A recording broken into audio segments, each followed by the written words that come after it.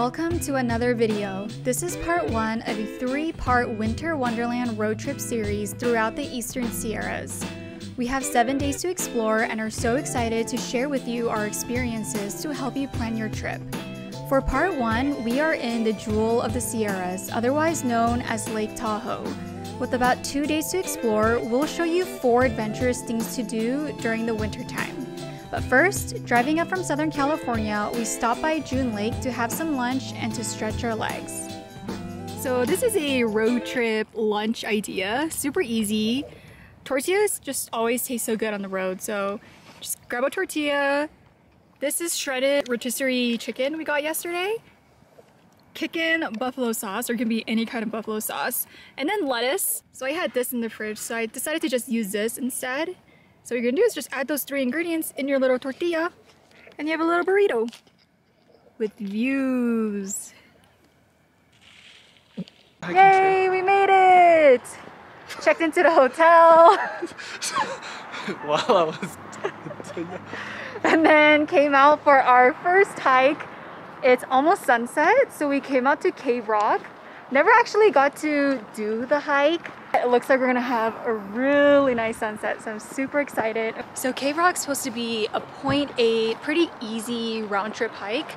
It takes you to a very high point and you're supposed to have like these, these sweeping views of Lake Tahoe and all the mountains. So you do have to climb up these rocks. It's not too bad, but there's definitely some incline. Just go slow if you're scared of heights, but look, the sunset's coming in. So that's the main road where you can go through the cave. This is Cave Rock right here. See people up there. But yeah, if you drive through the Nevada side of Tahoe, that's a tunnel way over there.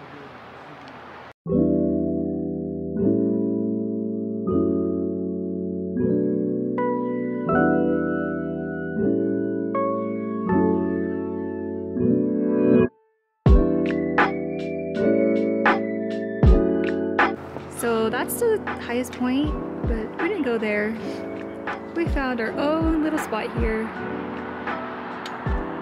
Pretty. So sick. It's really cold, but we just don't notice it right now because my breath is like, I can see it.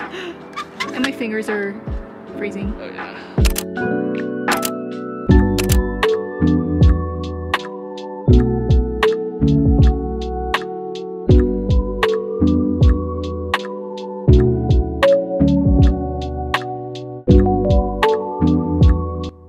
Second winter activity to do is snowshoeing. This was a first time for the both of us, so we rented some snowshoes from Village Ski Loft in Incline Village. This feels weird. Yeah, it does feel weird. But they're very light. you have to walk normal. Whoa. Dude, we're right here is so pretty. So, so far, snowshoeing is not too bad. It's kind of just like walking but I mean, I guess the snow's like not that deep here. But the thing about this trail, it's not really well marked. So right now we're just kind of following our All Trails GPS map. But I mean, from the things we've been reading, there are multiple ways to get there. So it's not like you're gonna get lost.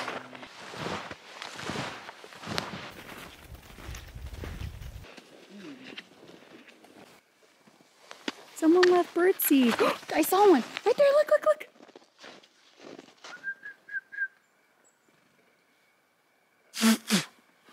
Did it take anything? Yeah. Uh, it took it all? No, it took one. Cheeseburger. Chickadee Chickadee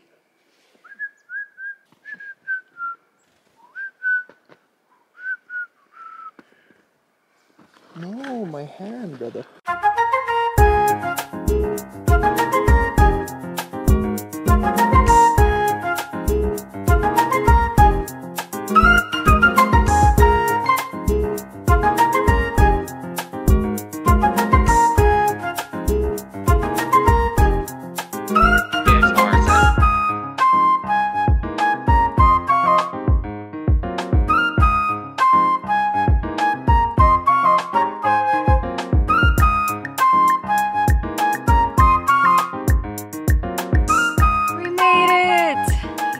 Some pretty nice views of the lake from here. Um, towards the end, to get to the top here, there is some incline, but it's really short and just take it slow. Definitely isn't a walk in the park, but it's it's short, so it's very doable. But now these lake views behind me. Took the snowshoes off to take a little break. Check out these views.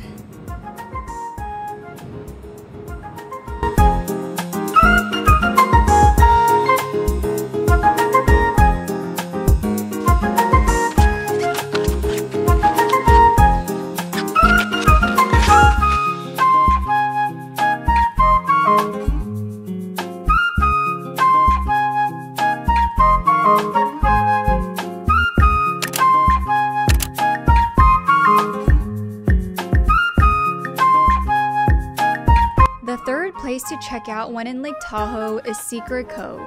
This is a popular spot to visit any time of the year, but it is a clothing optional beach.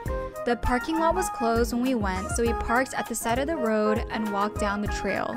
It is a little steep, but you will soon see a sparkling cove with turquoise water. This spot is very special, especially for the locals, so please remember to practice leave no trace and pack out whatever you bring in.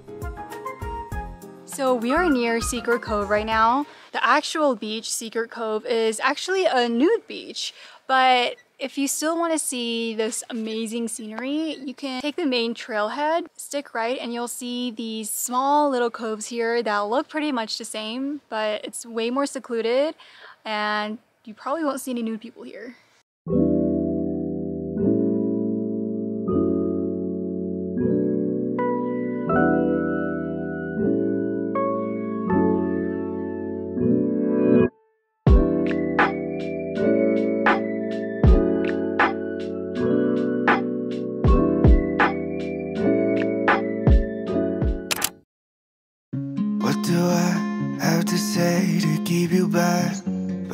By my side? Heart is starting to liquefy. Need you here to tell me that I'll be okay. Married one, loving two, and now it's three, 3 a.m. Thinking, what if it's you and me? At the end, maybe we'll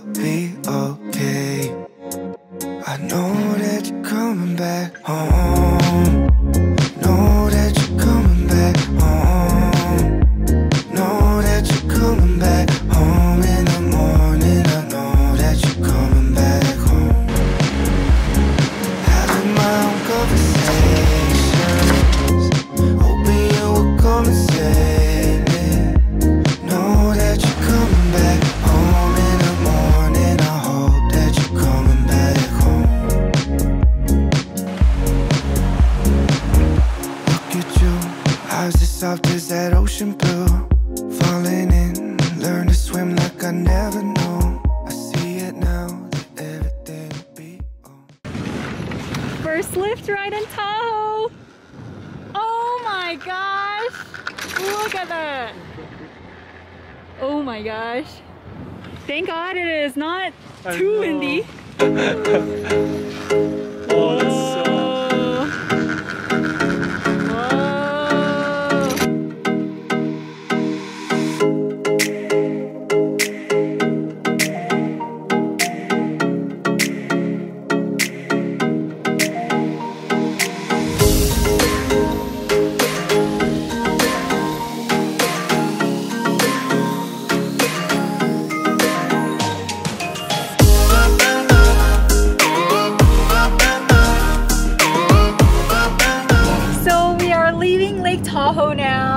Let's do a quick review of Heavenly Ski Resort.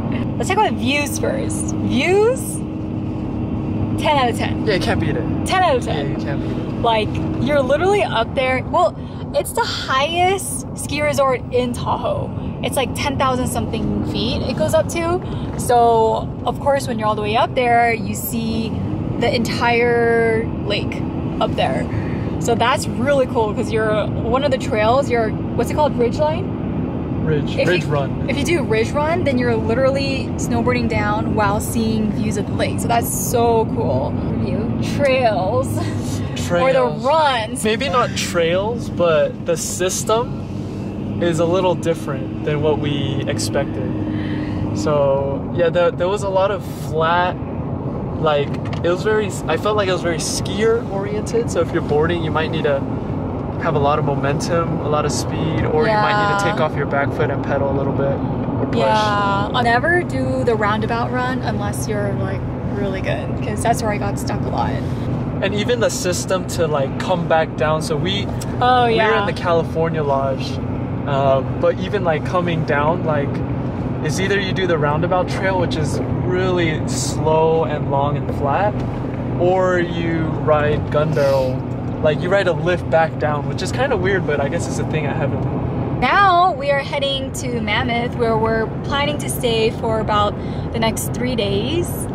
There's supposed to be like a little storm coming in, so not exactly sure what we're gonna do. The original plan was to snowboard in Mammoth, but then we snowboard here in Tahoe instead because the weather was just gonna be better. Um, but yeah, let's see what the rest of our trip has in store for us.